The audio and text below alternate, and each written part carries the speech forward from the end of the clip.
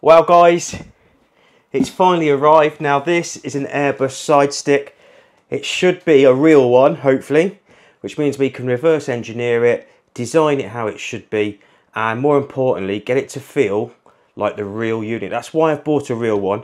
And it's so much easier to get Airbus parts than it is to get 737.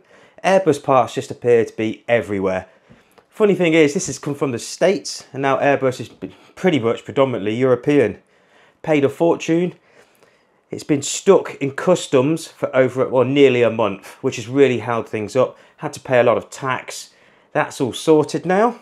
It's here, and it hasn't been opened. Let's get into it. Got my Stanley knife in front of me. So, down the sides. I best not cut the invoice up. Need that for my tax return. Oh, packing peanuts. Lovely.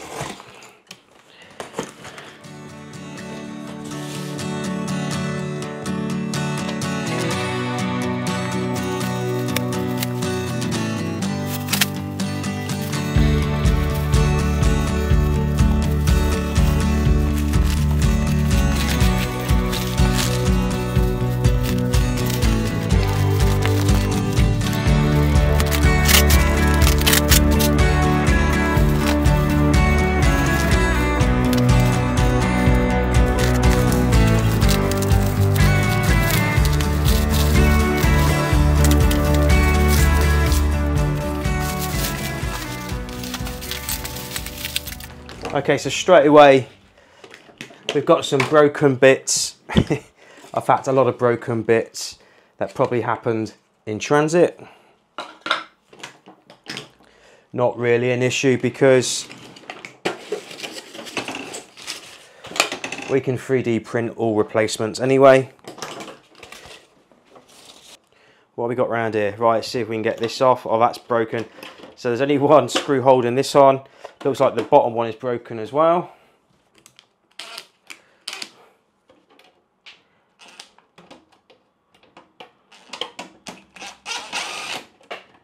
Okay, there we go. Whoa. Lots of dust bunnies in here. Wow. It is a bit of an engineering marvel. Uh, you can't see yet, but let me just give you a quick look at the inside there. We've got the control rods here, quite a few electronics, some dampers. Oh wow. You, you can hear the dampers working into the unit there. Oh, and pictures, it's got even more force.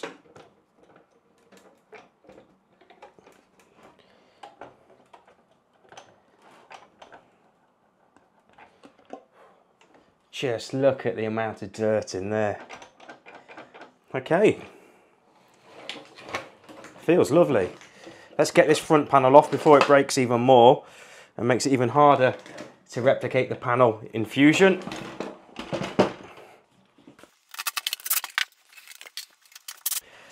So now we can take the side cover off. Ah, there's another damper there.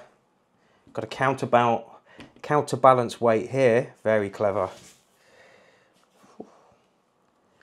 And just standard springs here.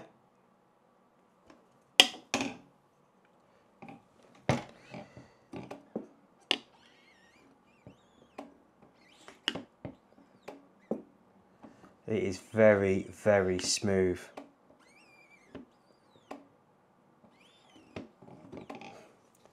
Great. Okay, so this damper is also is leaking a lot of fluid.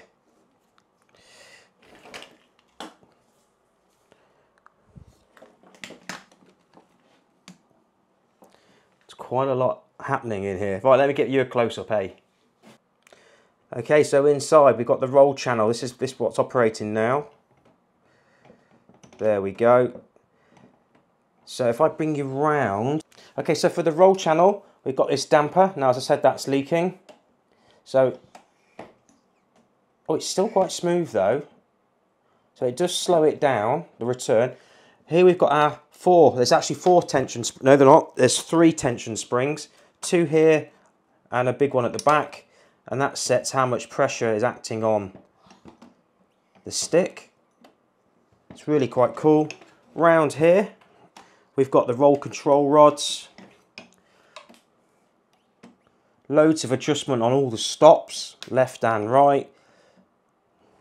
And I think, yes, you probably could. You can make these springs much stronger by tightening the, the stops here. Now, I'm not going to know where these control rods go.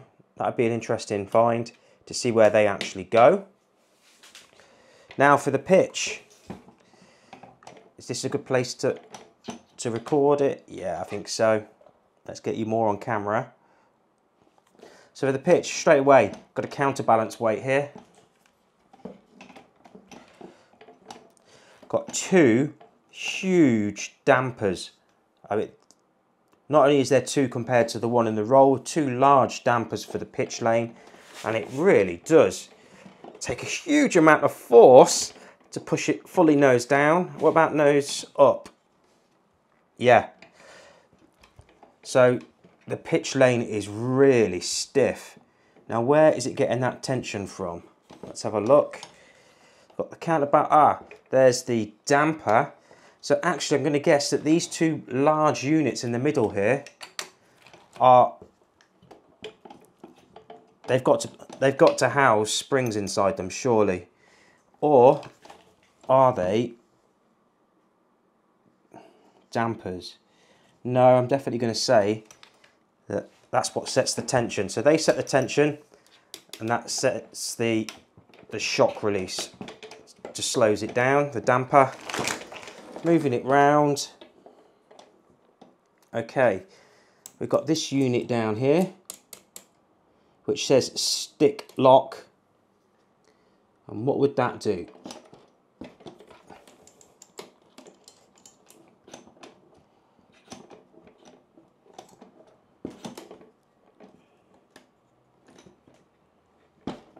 Wow.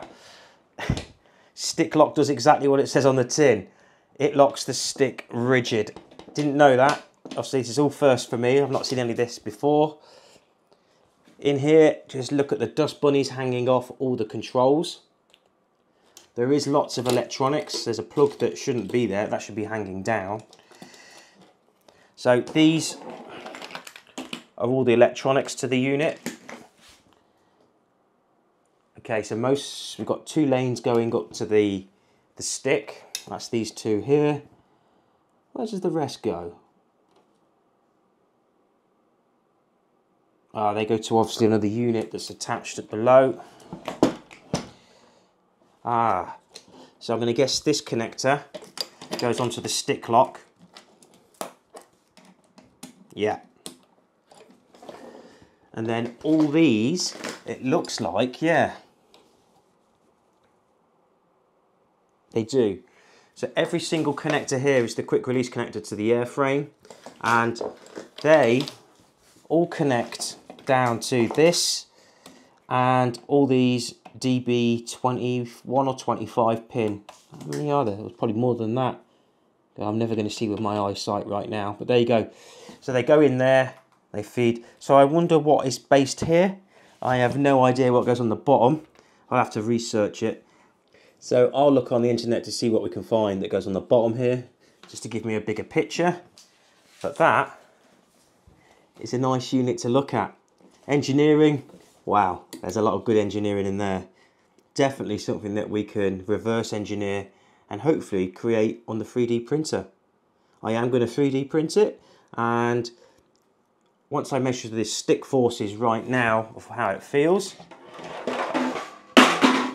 dope. It's dropped a panel, it's broken anyway. Uh, should be able to find an alternative to make sure that when we reproduce it, the forces that I'm feeling right now are the exact forces that we can replicate.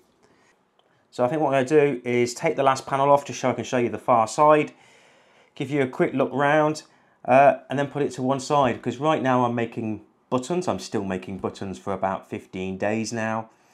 Uh, and I've just had the okay to move into the new unit on the 1st of August. So in in about half an hour after we've had dinner with the family, I'm going to get in the car and go and look at the new place and see what needs to be done ready for the 1st of August. So let's take this last panel off.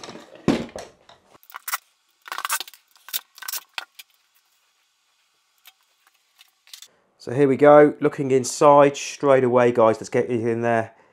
Lots of dust bunnies.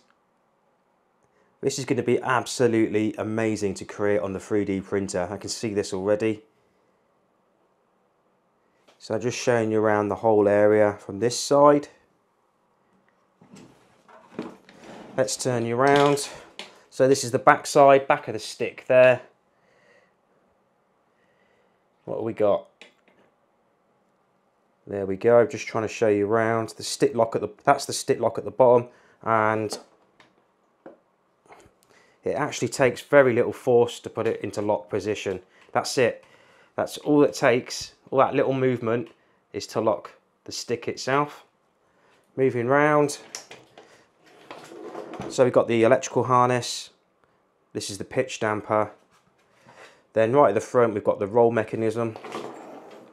Roll damper and then back round to the dust bunnies on the far side. The stick itself is up here. It's in good condition. I would definitely say, oh no, it might, might be a very tough plastic. No, it's aluminium, aluminium, aluminium base, but with obviously a plastic coating. Uh, it is very dirty, which is natural. I think it's probably come, it's probably had a hard life. Guys, that's it for tonight. Just a quick update to show you what I've got. My new toy. This is going to be absolutely awesome to reverse engineer and 3D print. I can just see that, okay, I may have to toughen up some of the legs and it's not, the base isn't going to be the, the right size, but the top should be, the stick should be. This should be an amazing, uh, an amazing build. It really should. I'm not even new to Airbus. But when you've got engineering like this and being able to feel it in your hands and seeing how it operates and how it feels, uh, the strength, the forces, it's going to make an, an amazing build. I hope so anyway. I am going to have dinner with the family and then head off to the new unit uh, to see how we can progress there next week. Guys, good night from me. Catch you later. Carl out.